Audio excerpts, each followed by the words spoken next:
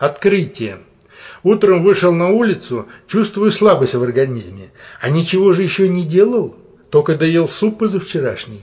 В башке дзынь, значит, думаю, между слабостью и супом есть какая-то связь. Сел в скверике на скамейку, там никого, пустая совершенно скамейка. Только мужик какой-то сидит и все. Я ему говорю, ну что, дождались с долларом? Растет доллар-то, ничего Путин не смог сделать. Он говорит, кто? Путин. Путин? Я говорю, Путин, кто еще? Он за все отвечает. Мужик говорит, кто он, Путин? Я говорю, президент.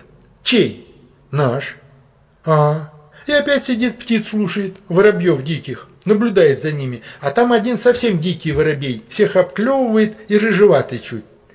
Я говорю, вылитый Чубайс. Мужик, кто? Я говорю, воробей.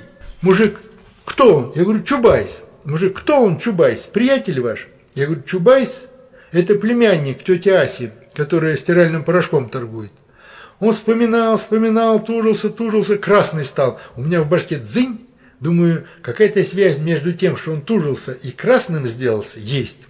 Тут мужик кончил тужиться говорит, не могу вспомнить, кто такая тетя Ася. И опять Воробьев слушает.